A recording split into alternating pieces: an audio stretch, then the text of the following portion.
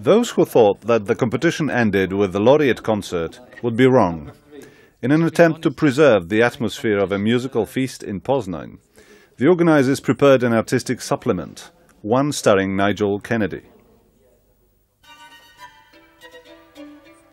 Other stars of the evening were Daniel Stabrawa, the first concertmaster and soloist with the Berliner Philharmonica, Krzesimir Dębski and Sinfonia Varsovia Orchestra, performers of the world premiere of Dębski's second violin concerto, a piece commissioned by the competition organizers.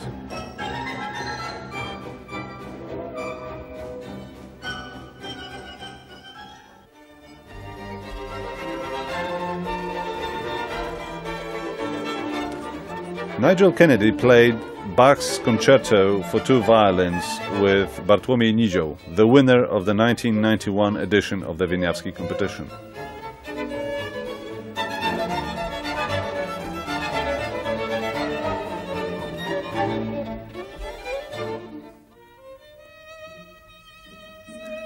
Then came his unexpected solo performance of Wieniawski's legend, and expected his unsurpassable interpretation of Elgar's concerto.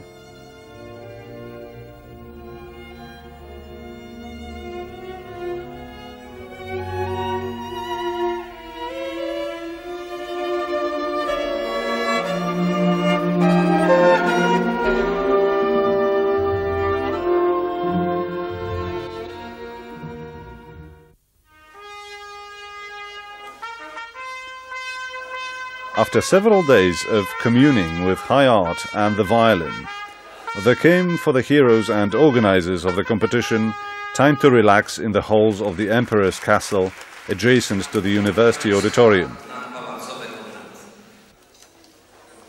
It was the time to thank, summarize and bid farewell. Time to raise toast to the competition that had just closed, as well as the next 13th scheduled for the year 2006. That evening and night, everyone felt joyful and happy, including the spirit of the competition patron hovering over Poznan.